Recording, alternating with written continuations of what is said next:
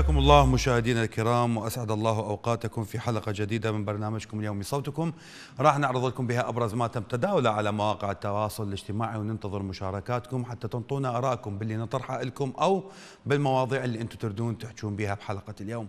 للمشاركة بالحلقة أرقام البرنامج بالأسفل اللي ما قدر يتصل بينا لأي سبب كان يقدر يدز لنا رسالة على رقم الواتساب حتى نقدر نقراها بالدقائق الأخيرة من حلقة هذا اليوم. مشاهدينا الكرام نبدأ حلقة اليوم وأول ملف من ملفاتنا هو ملف الإهمال الحكومي للمدارس الحكومية العراقية وهوايه حكينا عن هذا الموضوع المدارس العراقية شنو الإهمال اللي موجود بها وشلون الحالة اللي وصلت إلى المدارس من تهالك الأبنية وانعدام الخدمات وعدم توفير الأجواء الصحية اللي لازم تكون موجودة ومتوفرة للطالب حتى يقدر يدرس من وسائل إيضاح ومختبرات إضافة إلى دفاتر وأقلام وكتب وقرطاسيه. تعاني البنية التحتية لوزارة التربية من النقص الشديد باعداد الأبنية المدرسية وهذا الشيء بيناه وقلنا العراق يحتاج تقريبا 10000 مدرسة حتى يسد الحاجة. إضافة إلى ضعف ملائمة المناخ التنظيمي والبيئة الدراسية بالمؤسسات المؤسسات التربوية والتعليمية هذا الشيء اللي أدى إلى ضعف قدرة المدارس على استيعاب الأعداد المستهدفة من التلاميذ والطلاب ومن مختلف المراحل الدراسية الابتدائية والمتوسطة والثانوية هذا الضعف ظهر وين؟ ظهر عقب سلسلة الانهيارات الأخيرة اللي صارت بالمدارس بعد الأمطار الأخيرة خصوصا الانهيار اللي حصل بإحدى المدارس وسقوط السقف المشيد من مادة ال sandwich panel بإحدى محافظات العراق. تفرجوا وياي. وزارة التربية هذه مسيور تابع له إلى مدرسة صلة الحق المختلطة. اليوم 5 مارس 6 مارس 2023 بسبب الهواء الجوي الذي تصاعدت به اليوم. هذه تم العقاب اليوم بعد خمس دقائق من وقوف الهواء والأمطار. وبهذه الجهود المبذولة نرجو السلطات المعنية توفير لها بناء و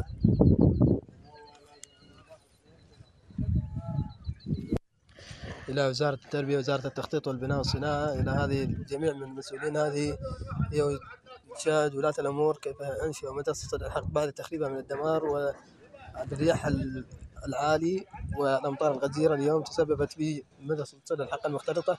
هذه الأضرار هذه الإدارة المخزن الثاني مخزن كتب صفوف الطلبة شاهد وتابع هذه إدارة من فوق جدار إدارة صدى الحق اليوم نشاهد ونعاني.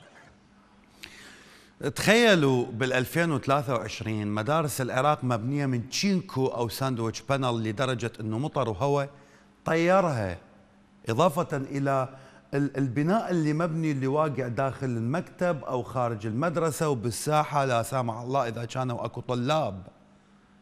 وين يطون وجههم؟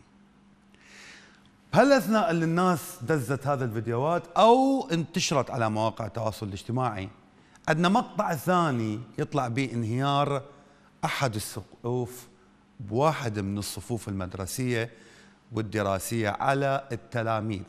بمدرسة عبد الله بن الحسين في مدينة الناصرية بمحافظة دقار بمشهد مأساوي. وراد هذا السقوط أو الانهيار اللي صار بسقف هاي المدرسة أن يتسبب بوقوع ضحايا بين صفوف التلاميذ لا سمح الله. خلونا نشوف.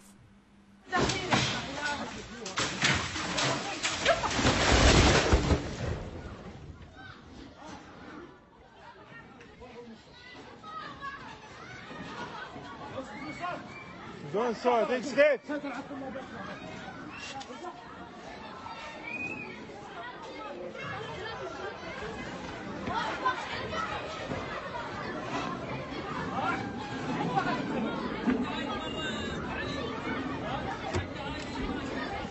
وباكم من هذا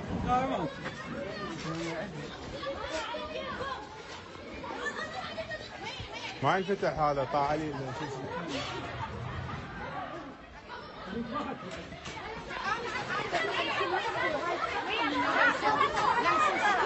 وفرا عزم وفرا جمعون بالساحة بالساحة جمعون.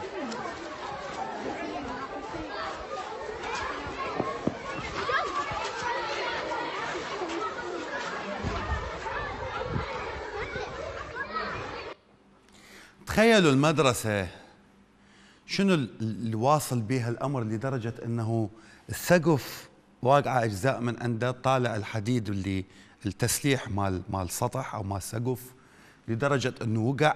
إضافة إلى ذلك اللي طلع وصور لنا المكان. داير حبل المدرسة كله مفطر وواقع. أريد أسأل سؤال. أبو مدير تربية ذي قار موافق الطلاب يداومون هنا؟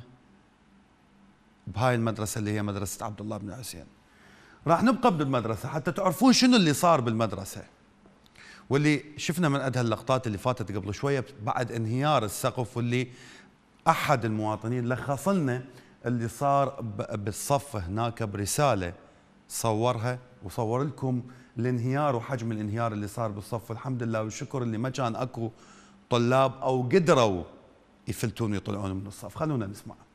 إحنا بأحد المدارس في محافظة ذي قار وبالتحديد ناحية أور مدرسة عبد الله بن الحسين.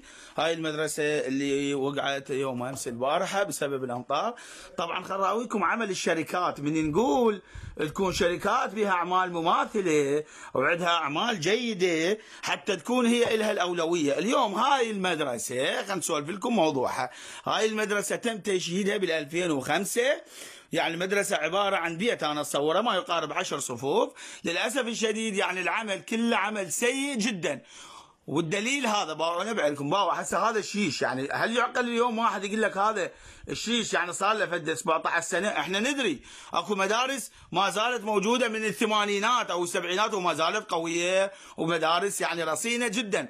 أما هذا العمل من بعد 2003 الناس اللي طمعت بالم- بالمليارات وبالأموال مال الشعب ويروح ضحيتها الطلاب المدرسة. يعني اليوم العوائل من الدز مندز ابنائها للتعليم قامت تخاف عليهم. المدرسة لا توقع تخاف قبل نخاف من الشارع نخاف من أبو الدرع هسه نخاف من المدارس لا توقع. أو هاي نتيجتها. إذا انتبهتوا مشاهدينا الكرام بهذا الفيديو يعني من طلع هذا الفيديو وحكى به أكو قضية طلعت بالفيديو اللي هي الشياشة اللي هنا. هذا حجم هذا حجم. ذني حجم هذا غير حجم. يعني مجموعة معينة من الاشياش كل واحد يختلف عن الثاني. بيبنون بسقف. ومن المفترض إنه هذا السقف اللي انبنى بال 2005 مثل ما يقول المفروض إنه هذا بناء حديث. قل لي الشيش شلون زنجر وشلون انكسر؟ وشلون استلموا المدرسة؟ وضبط المقاييس اللي موجودة بها البناء أو النسب اللي استخدموها في بناء المدرسة نسب الاسمنت والرمل والحصو وغيرها وغيرها وغيرها. فحصتوها لو شلح وعبر. البارحة طلعنا مدرسة مبنية بال 65 يقول لحد الآن لا شباكها تبدل من ال 65 لحد هاي اللحظة. و- ولا الباب مالتها متبدل ولا كل شيء بيها متبدل بس القفل اللي بالباب جديد.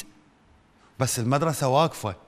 من ال 65 لل 23 وواحده مبنية بال 2005 بزمن حكومات الديمقراطية هذا حالها. الناس لما شافت هاي الفيديوهات علقت على الموضوع وأول تعليق كان ويانا من آه، ثوره ال- ال- الثامري تقول الانهيار في كل مفاصل الدولة حسبنا الله ونعم الوكيل بكل من وصل العراق لهاي الحالة المزرية. خالد علي يقول الانهيار ليس في سقف المدرسة الانهيار حاصل بكل جزء من منظومة التربية بكل مفاصلها أحزاب ومحسوبيات وصفقات والخاسر الأكبر التلاميذ. وأبو أحمد يقول بعض المدارس في بلد أبو الميزانيات الانفجارية عبارة عن قبور مجانية جاهزة قبل أوانها. حسبنا الله ونعم الوكيل. ونور محمد تقول لا حول ولا قوة إلا بالله هكذا باتت دور العلم ونحن في القرن الواحد والعشرون. هذا اللي كتبته نور وعندنا اتصال من أبو غريب. أبو علي. أبو علي. أبو علي من أبو غريب تسمعني؟ أبو علاوي. يبدو أن أبو علي من أبو غريب ما جاي يسمعني. نتمنى ترجع لنا إذا عندك شيء تريد تقوله. آه ويانا من كربلاء مصطفى. حياك الله يا مصطفى. حياك الله أستاذ السلام عليكم. عليكم السلام ورحمة الله وبركاته. تحياتي لحضرتك أستاذ القناة الموقره تحياتي لك حبيبي حبيبي. أستاذ بس اسم... يعني عندي مناشدة يعني أتمنى شوية تعطيني الوقت الكافي. قول. أستاذ أنا أنا ممثل الطلبه العشره الأوائل محافظة كربلاء طبعا. نعم. أستاذ إحنا مناشدتنا بخصوص تعيين العشرة الأوائل على الأقسام. نعم. القانون أساسا يشمل اول عشره بالتعيين. نعم. وكانت الحجه عام 2017 قانون عدم 67 نعم. أي. عدم توافر الدرجات الوظيفية. نعم.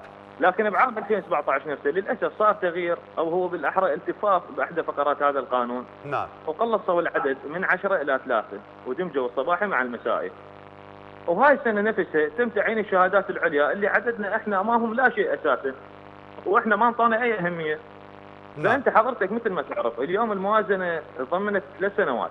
وإحنا تع... يعني تحملنا وتعبنا هذا ما يعني اجى شيء هين. واليوم اللي يط... يعني اليوم يطلع العاشر لآخر ترتيب هو مو فرق عن الأول. احتمال في الدرجات بسيطة. نعم. فإحنا نطالب من المسؤولين انصاف هاي الشريحة اللي اجتهدت وبالتالي تعرضت إلى التهميش. اضافت فقرة بهاي الموازنة. تتضمن تعيين العشر الأوائل على الأقسام وليس نعم. على الكليات أو الجامعات. نعم. وعدم دمج الدراسات المسائية مع الصباحي حتى نكون واضحين. إحنا تواصلنا مع النواب أستاذ. ووعدونا بخير. ونطلب منهم يكملون الطريق ويانا. نعم. ويوفون بوعدهم. لأن إحنا قضيتنا وصلت للجنة القانونية أساسا بعد ما جمعنا توافيع هواي نعم. واليوم الحكومة يعني مسؤوليتها بالاهتمام بكافه التخصصات ودرجاتهم العلمية، يعني وشرائح المجتمع بشكل عام. وما نعم. تقتصر نعم. بتوفير السيوله المالية والدرجات الوظيفية؟ الفئه دون أخرى. بحجه أكو قانون دستوري، لأن إحنا عندنا قانون وبسهولة تم التلاعب فيه. نعم نعم نعم نعم.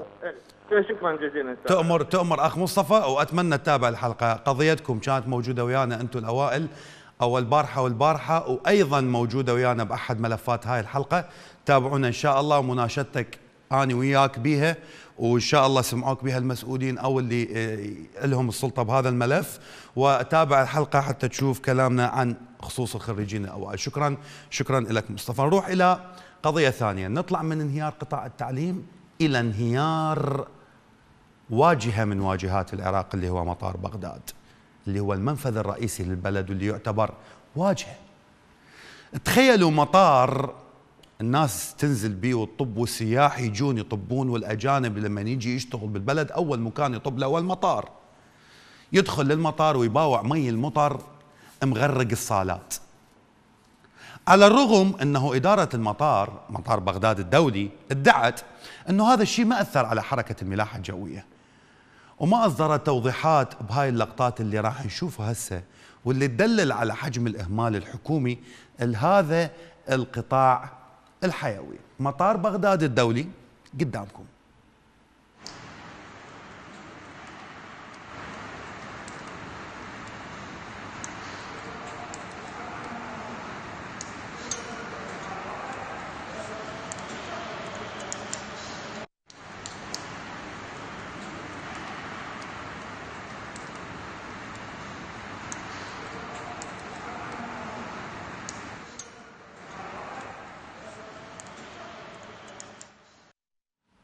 تخيلوا تخيلوا مطار أنت واحد ينزل بيه ويطب لك أجنبي مثلا من أي جنسية كانت مستثمر كان أو جاي لعمل أو سائح.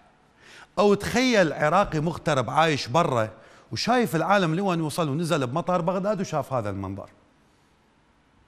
شنو راح يفكر؟ بهالأثناء أصدرت إدارة مطار بغداد توضيح قالت بي أكو صور انتشرت الحمامات مطار بغداد. وذكرت الإدارة ببيانها إنه باعوا اللي ذكرته راح أقرأ لكم إياه بالنص. مرة أخرى تطالعنا وسائل التواصل الاجتماعي بمعلومات مغلوطة وصور مجتزأة من الحقيقة لمآرب لا تعدو عن الاستهداف الممنهج لواحدة من مؤسسات الدولة الرسمية. حيث تداولت هذه الصفحات صور عن حمامات مطار بغداد الدولي المشمولة بحملة للتأهيل والتطوير والتي تقوم بها الهندسة المدنية في المطار. هذا كان جزء من نص البيان اللي قالته إدارة مطار بغداد الدولي ورا ما انتشرت صور للحمامات اللي موجودة بالمطار وقالت إننا في مطار بغداد الدولي وكأي مؤسسة حكومية أخرى نتعامل بالمعطيات الواقعية والضوابط المالية والإدارية ونعمل في الليل والنهار وتشترك معنا جهات حكومية مشكورة إذ تتداخل الأعمال وتتناسق الأدوار ليجد المسافر خدمة متميزة على مختلف المقاييس. حتى حتى هاي اللحظة البيان يخبل بنقاط ماكو أحلى من عدها. لكن تعالوا نشوف بالصورة والصوت قبل ما أنتم تحكمون أو أني أحكم على الحمامات اللي طلع على ضوءها هذا البيان اللي كانت بطور الصيانة مثل ما قالت إدارة مطار بغداد. وأنه هي متاحة للاستخدام وأنه الصور كانت بمثابه فضيحة حتى تطلع إدارة المطار بالبيان اللي قرينا جزء منه قبل قليل. اتفرجوا.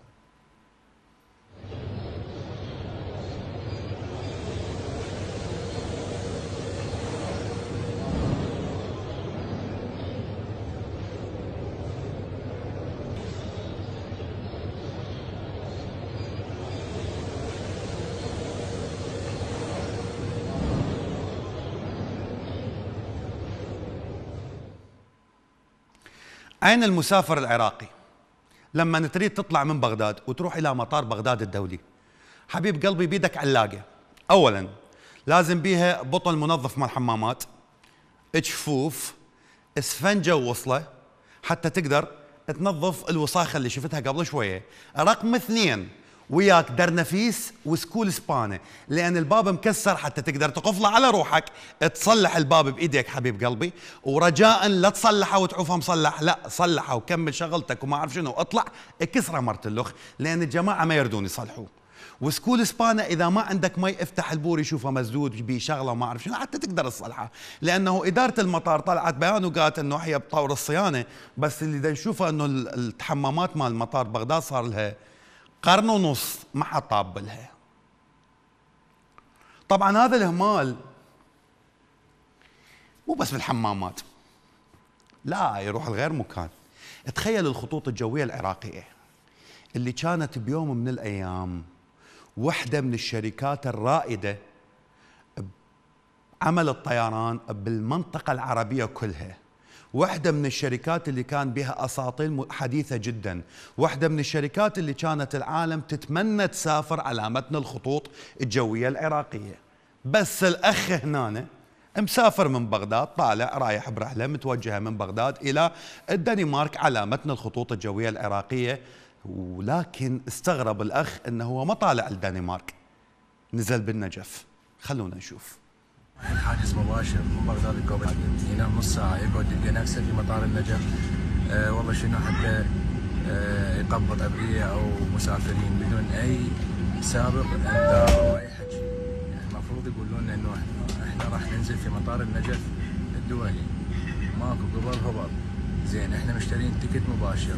مع التأخير ومع كل هاي خطوط الجو العراقية والله مهزلة يعني إلى متى تصير هاي؟ يعني إلى متى؟ هيك؟ نتمنى يعني صوتنا يوصل إلى أصحاب الشأن. حسبنا الله ونعم الوكيل. يقول أنا مشتري ticket direct مباشر من بغداد إلى كوبنهاجن بالدنمارك لكن أنا نزلت بالنجف لأنه الطيار يقول سن- سنهبط في مطار النجف الدولي حتى نقبط قل لي تاتا هي. تاتا من العلاوي طالع وطالع تقبط بالطريق. قل لي زين المضيف يفتح الباب ويصيح كوبنهاجن كوبنهاجن كوبنهاجن اركب. زين إذا ما قبطت بالنجف الطيرة من النجف تنزل بالبصرة دا تقبط الكوبنهاجن؟ زين بلا زحمة اخويا الطيار إذا ما قبطت بالعراق تنزل بالأردن دا تقبط الكوبنهاجن؟ أقول لكم يعني ما دا افتهم ال- ال- الحال اللي دا يمشي بالعراق شنو؟ لو يريد يسافر ترانزيت ترى أكو بالحجز. بغداد كوبنهاجن بالنص أكو نقطة ترانزيت أو نقطتين أكو ترانزيتين. وتصير أرخص من الدايركت بس هذا الحال تلقوه بس بالعراق. فالناس لما شافت هاي الفيديوهات علقت على هذا الموضوع وقالت علي الدباغ يقول هاي الحالة كانت تصير هواية تحجز من مطار اسطنبول لمطار بغداد وتادي تلقى الطيارة تروح للنجف وراها ترجع لبغداد ومن تسأل المضيفين عن السبب يقولوا مو عندنا مسافرين للنجف نوصلهم ونرجعكم لبغداد. بها أكل لو ما بها أم يوسف العاني تقول نفس المعاناة حجزنا مباشر عن طريق شركة من بغداد إلى السعودية لأداء مناسك العمرة، لكن فوجئنا بتوجه الرحلة إلى السليمانية لأخذ ركاب ومن ثم الذهاب إلى السعودية، هذا يدل على فشل الخطوط الجوية العراقية، بدربش من تنزلين بسليمانية؟ أخذي السجق وياك وياك.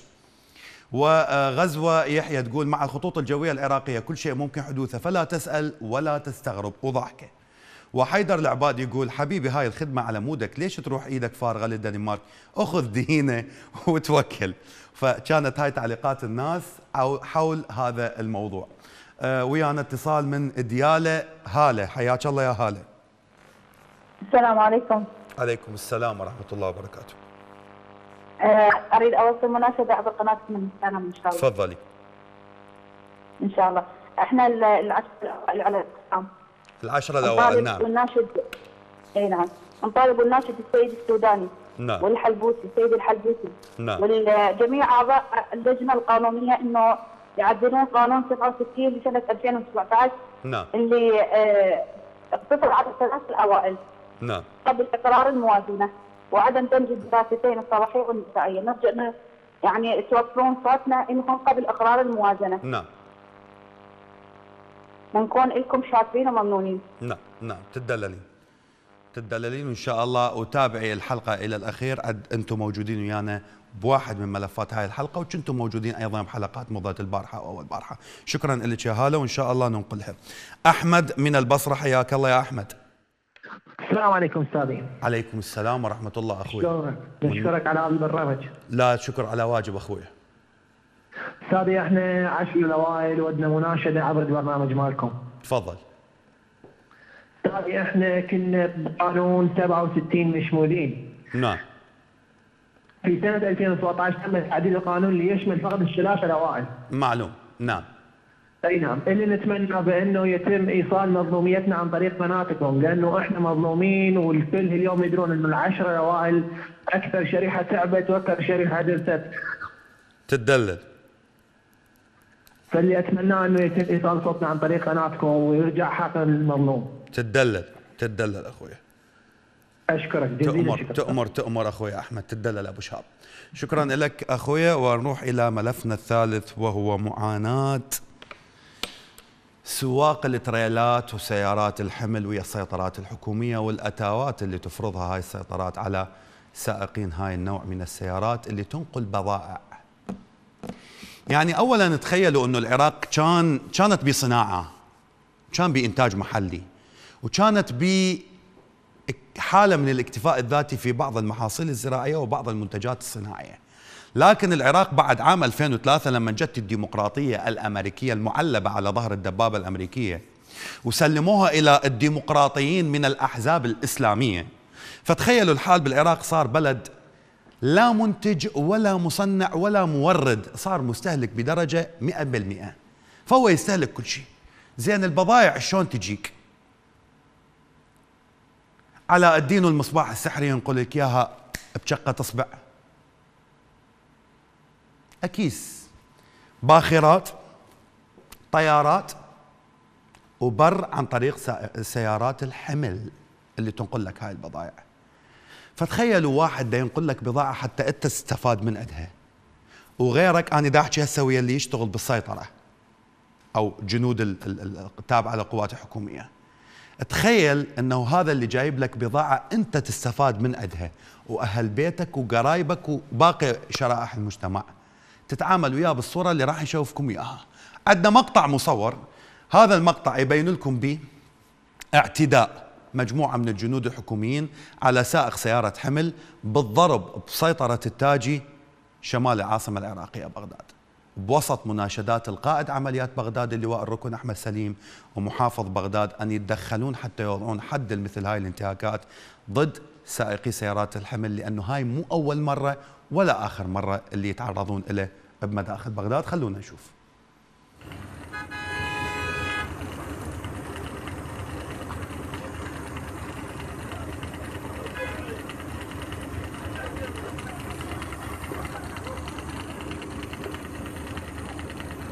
شو نسوي علي ولي باع باع باع باع باع عشان نسوي علي ولي خطايا بالتريلا باع باع باع باع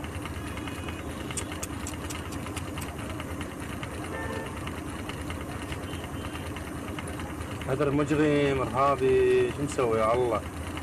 ليش هيك يعني؟ ليش؟ باع باع باع باع باع لا حول ولا قوة إلا بالله العلي العظيم. لا حول ولا قوة إلا بالله العلي العظيم. حسبي الله ونعم الوكيل عليكم حسبنا الله ونعم الوكيل عليكم. حسبي الله ونعم الوكيل عليكم. با با با. هذا التعامل مو جديد. بهالاثناء سواق هذا النوع من السيارات التريلات وسيارات الحمل والنقل اشتكوا مثلا بالانبار بسيطرة 18 كيلو غرب المحافظة. تأخروا تقريبا أربع أيام. تعرفون ليش؟ لأن جهاز السونار عاطل. قل لي جهاز السونار هذا أبو الجولف اللي يدور طوبات. صاير مراقب خطة الاخ المهم. ولسبب السواق ناجدوا ان يسهلون أمرهم حتى يعبرون. شوف إلى محافظ الأنبار المحترم. ومناشدة إلى قائد شرطة الأنبار المحترم. إحنا أصحاب النواقل. عالقين بالسونار صار لنا أربعة أيام. سونار ال 18 غرب الرمادي. قادمين من منفذ طريبيل الحدودي صار لنا أربعة أيام واقفين. السونار عاطل يقولون. وإحنا اصحاب عوائل وهاي كل السيارات هذا الحمل كله يقع برقابنا.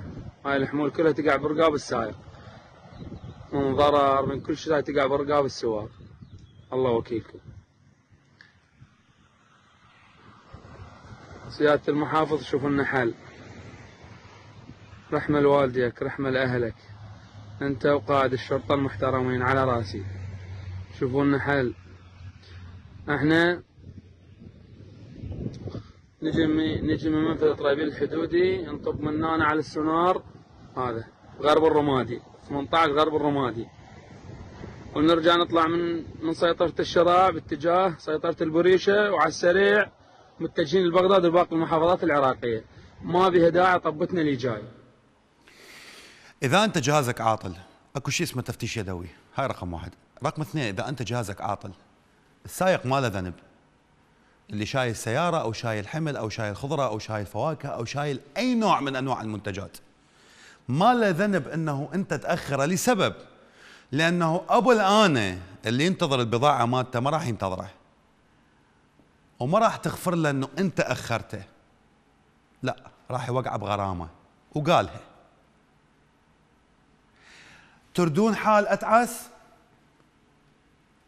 هنا سيطرة الصقور. اشتكوا أصحاب سيارات الحمل من تعامل المنتسبين بهاي السيطرة.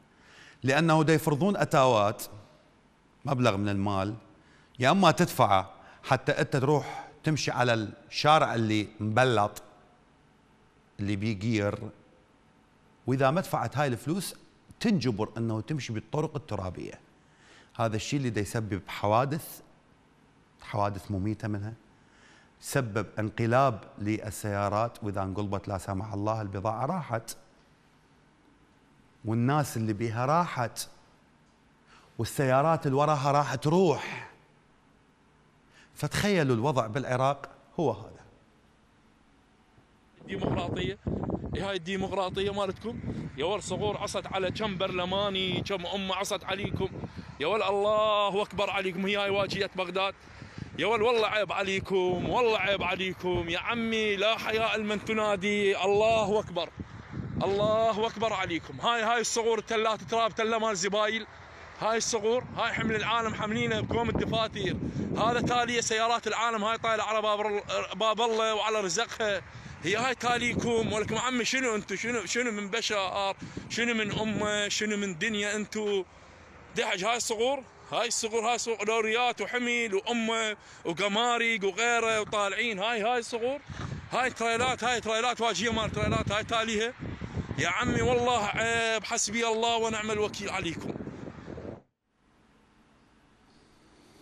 ترى اللوري هذا مقلوب واللي شفتوه جوا هاي مو براميل هاي تايراته طالعة للناس.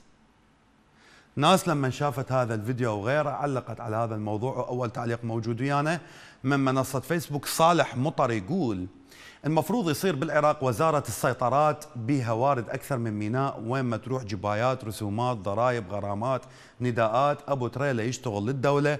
حسبنا الله ونعم الوكيل. أبو ليث الرحال يقول سيطرة الصقور أصبحت شارع الموت لسواق الشاحنات وللغاية منه ابتزاز السواق. محمد المنتسب بالسيطرة يوميته مو أقل من مليون دينار قط. لأن راتبه قليل مليون ونص ما يكفي. تريد تعبر السيطرة ادفع المالات تفوت وياخذ لك تحية. أما آه، أبو عذراء العبيد يقول حسبنا الله ونعم الوكيل على من ظلمنا. فكانت هاي تعليقات الناس حول معاناة سائقي سيارات الحمل بالسيطرات الحكومية. من بغداد ليث. حياك الله يا ليث.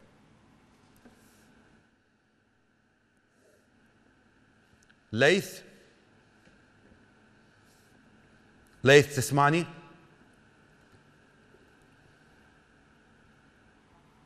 أبو خميس. ليث مو ويانا. إذا عندك شيء ليث وترجع لنا نتمنى تكون موجود ويانا بالحلقة ونسمع رأيك. أبو فاطمة من سامراء حياك الله. حبيب ألو تفضل. عليكم. السلام ورحمة الله وبركاته. نعم أخوي والله أنا اليوم أطرح سؤالي من وراء هاي الموازنة اللي راح نقرر اليوم نعم. مباشره أو بعد. اني أقول رسالتي لمحمد الشيعة السوداني. نعم. إذا سياده الرئيس أنت راح تقرر الموازنة. نعم. ماكو درجات وظيفية الشعب فاين حظ؟ الشعب جوعان. أول شيء أنا أقول على مدينه مدينة سامراء من 2003 لحد الآن الخراب بيها. عندنا ثلاث نواب بيها أربع نواب ثلاث نواب ونائبة بيها. نعم. سامراء تعيش سامراء العالم قامت تطلع منها بعد ما تسكن العيش. اكون اكون انزل لك تصوير مدينة سامراء وتنزل على القناة الشرقية والسودان يشوفها. أبو فاطمة آه إذا تابع قناة الرافدين دا تشوف الأرقام مال التليفونات اللي موجودة جوا اسمك؟ نعم دا شوف أكو جواها شريط أبيض بأخبار دا تفتر دا تشوفه؟ تمام. لا والله أنا المهم تابع القناة هذا الشريط مال الاخبار في آخره أكو رقمين اسمها نافذة أنت ترى. أي رقم من ذن الرقمين؟ تدز أي فيديو من سامره لأي توثيق عندك حول الأوضاع هناك يطلع على القناة إن شاء الله. تدلل. حقيقي والله أنا أتمنى يوصل الصوت. الرئيس الوزراء يا أتمنى يجي يشوف سامره يفتر بانحاء سامره بالقضاء ما سامره أعتبره وصل لأنه أكيد سمعوا والله مو يجي جماعة النواب ما سامره ما أذكر اسمائهم يلفون الموضوع ياخذون المحافظة ما يخلوه يفتر داخل المدينة و... والمواطنين نعم. يلقون كلامهم ومعاناتهم للرئيس الوزراء. نعم نعم نعم نعم نعم نعم. والله تعبنا الحياة تعيسة. نعم نعم. نعم شكرا شكرا لك أبو فاطمة. نروح إلى ملف الخريجين والإهمال الحكومي المتعمد واللي هو الوعد اللي وعدته إلى الأخوة مصطفى من كربلاء وأحمد من البصرة وهالة من ديالة اللي حكوا عن قضية الخريجين الأوائل. راح نحكي بهذا الملف عنهم. لكن بداية راح ناخذ تظاهرات الخريجون ال- ال- الخريجين التربويين والإداريين بالمحافظة أو بالعاصمة العراقية بغداد اللي طالبوا أن يدرجوا بموازنة العام الحالي اللي صوت عليها مجلس الوزراء. وتظاهرة للخريجين والتربويين افترت بشوارع بغداد. لكن الحكومة اللي هي حكومة محمد الشيع السوداني اعطيتهم اذن الطرشة. تريدون تشوفون هاي التظاهرة قدامكم. كلا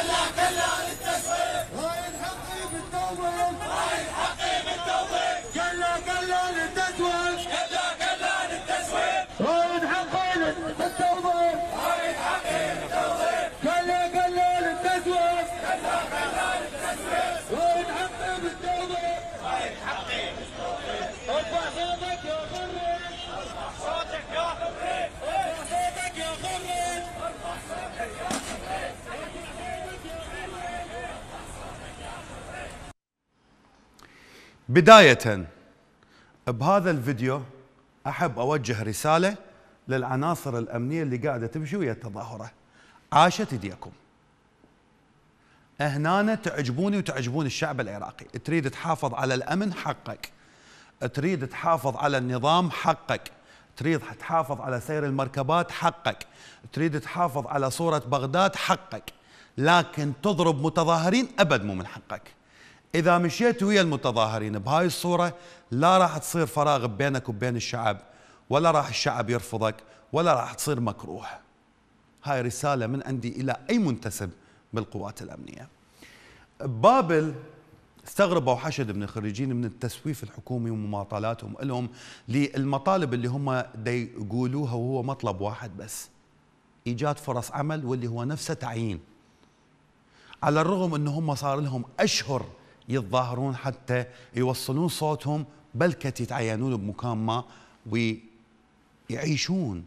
خلونا نسمع سويا حديث واحدة من خريجات مدينة الحلة مركز المحافظة بينفذ شيء صعب حق أبسط حق من حقوقنا اللي هو يعني العقد يعني إحنا خريجين صار لنا سنين يعني مو سنة وسنتين حتى العمر صار حرج وطبعا النظار صار لنا سنتين. أنا 2012 2012 يعني بعد كم سنة أنا جماعتي يطلعون تقاعد شو وقت أتعين؟ إيش وقت أنا تعبانه على نفسي 16 سنة؟ إيش وقت أمارس حقوقي؟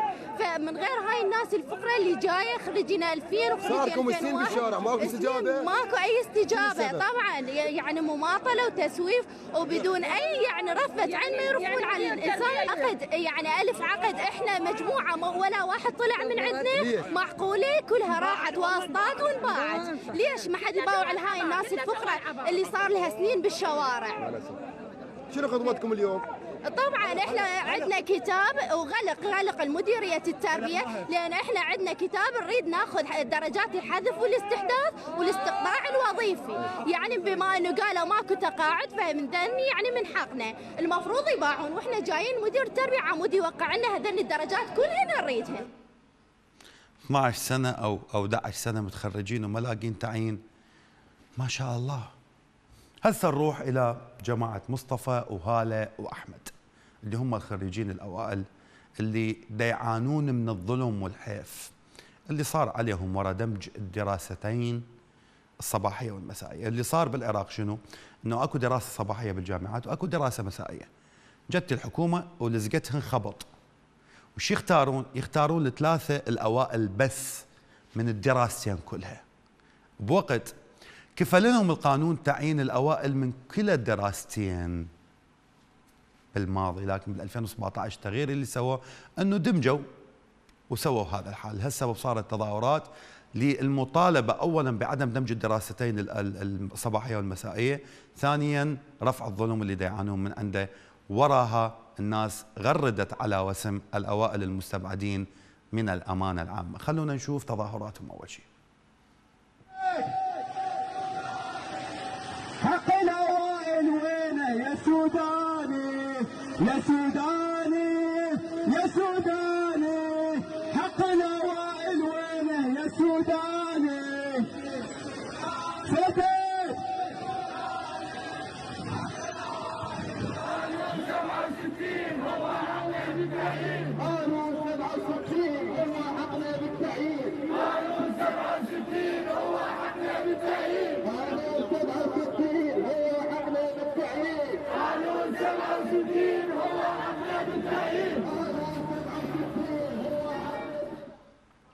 الناس لما شافت هاي الفيديو الفيديوهات خصوصا من الخريجين الاوائل غردوا مثل ما قلت لكم على وسم الأوائل المستبعدين من الأمانة العامه بتول غردت تقول يطالبون بإلغاء كتاب 17 4 2021 ذي العدد إيقاف على 5 9655 اللي دمج الدراستين الصباحية والمسائية وأخذ الثلاثه الأعلى معدلا وسرق حقنا في قانون 67 من دون نص قانوني.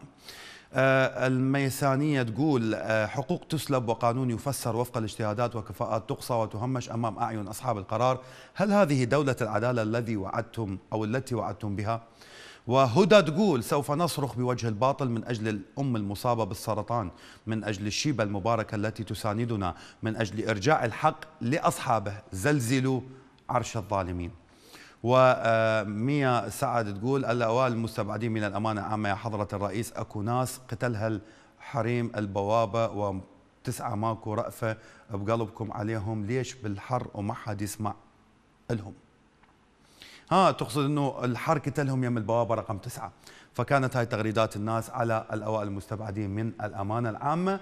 وعندي اتصال من آه، ديالة أبو علي حياك الله يا أبو علي.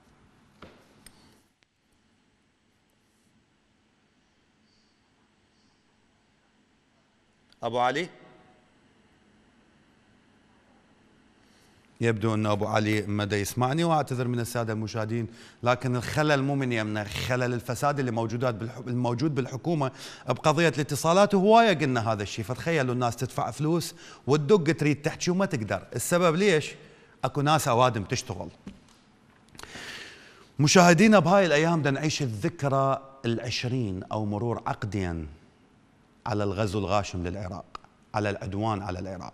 الحرب اللي قادت إلى احتلال البلد وتدمير ومحو دولة عراقية وإذا أريد أذكر لكم نتائج الغزو اللي قامت به واشنطن ولندن وأمريكا وبريطانيا والتحالف اللي بيناتهم على بغداد إراد لي مو حلقة 100 حلقة حتى أذكر لكم النتائج.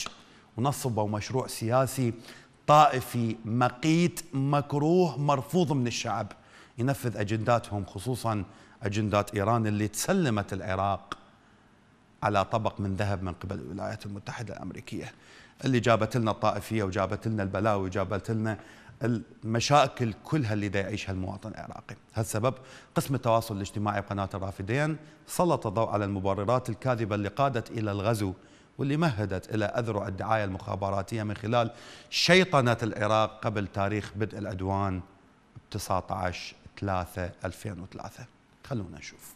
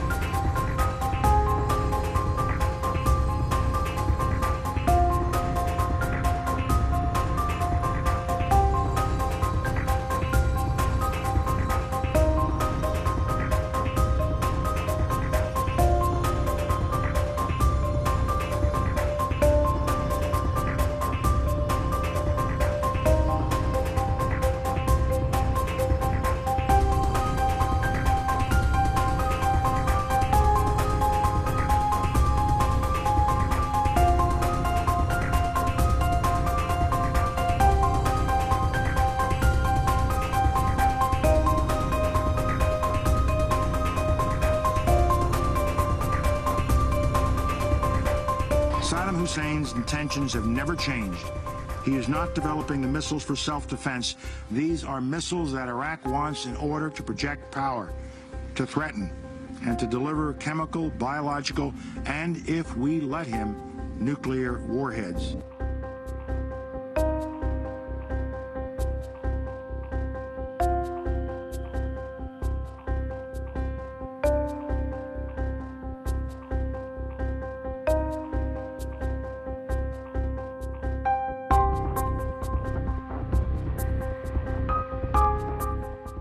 American and coalition forces are in the early stages of military operations to disarm Iraq, to free its people, and to defend the world from grave danger, and helping Iraqis achieve a united, stable, and free country.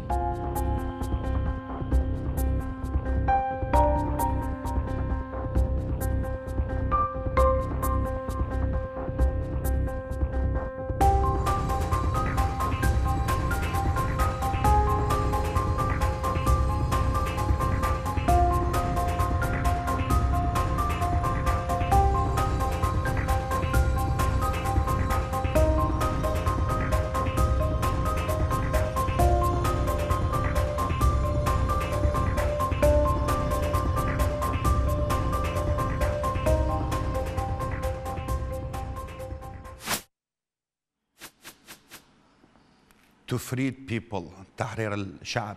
الله يلعنك انت وقوانينك اللي جبتها علينا يا بوش زيارة وزير الدفاع الأمريكي لويد أوستن أخيرا لبغداد بعدها تثير موجة سخرية كبيرة بأوساط العراقيين وراء سلسلة اللقاءات اللي جمعتها بالمسؤولين الحكوميين وأثارت هاي السلسلة اللي أجراها أوستن ويا حكومة الإطار التنسيقي برئاسة السوداني. موجة سخرية وكان من آه، الهاشتاج اللي غردوا عليه الناشطين اللي هو العار ولا الثار. وراح نقرأ لكم بعض التغريدات. حسين الرفاعي يقول هسه لو عصرين اذا بتكذب حتى نقول أخذت الثار بعصره فالح الفياض المالكي والسوداني يلتقي بوزير الدفاع الأمريكي المتهم بحادثة المطار. من هم؟ أولاد السفارة. جواد ثاني العطواني يقول بعد وصول وزير الدفاع الأمريكي إلى بغداد ولقائه مع رئيس الوزراء ورجال المقاومة أكد الطرفين بأن حادثة المطار حادث مروري ودفع الله ما كان أعظم وإنا لله وإنا إليه راجعون والتأمين إلما راح يصلح. مصطفى حازم يقول فالح الفياض رئيس هيئة الحشد الشعبي ونور المالكي مؤسس الحشد الشعبي يستقبلان وزير الدفاع الأمريكي وعتاب قوي من نوري وفالح لوزير الدفاع على حادثة المطار وصل العتاب لحد الارتجال بالدارميات وعقيل القريش يقول الثارجة برجله لبغداد والزلمة يفك حلقة. هاشتاج العار ولا الثار وكانت هاي تغريدات الناس الناس حول هذا الموضوع مشاهدينا الكرام. لكن أنا أقول لكم قال وال- والزلمة اللي يفك حلقة ما بيهم ولا واحد زلمة أصلا حتى يفك حلقة. نلتقيكم على خير إن شاء الله مشاهدينا الكرام. بحلقة جديدة من برنامج صوتكم باكر بإذن الله. إلى اللقاء.